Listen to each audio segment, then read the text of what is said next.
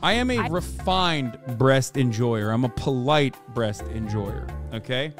Yeah, no boob size is best. All are good in unique ways. Exactly. Surprisingly, they're they are playing penis music.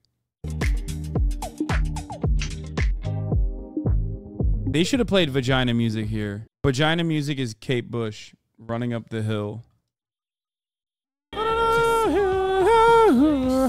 Lupe. Okay. 30F. Wait, what the fuck? What is going on? By the third one, they're dropping F bombs?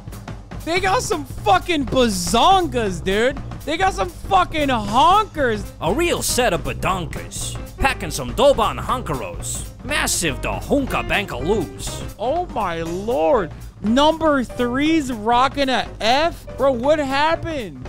31I.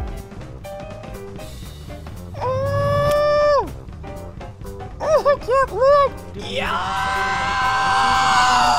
What the fuck? I didn't know they went that large, dude. What the hell? What the hell? I didn't even know there was eyes, man. Okay, I'm just gonna say this. I feel like these are breastises that would wreck a Victorian child. You know what I mean?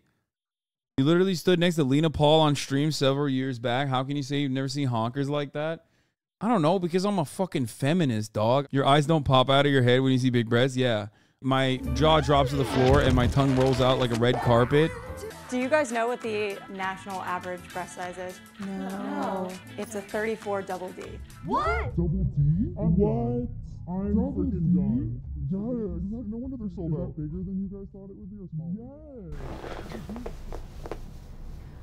Yeah. We need to get to the bottom of this, man. There's something wrong about this. Huh?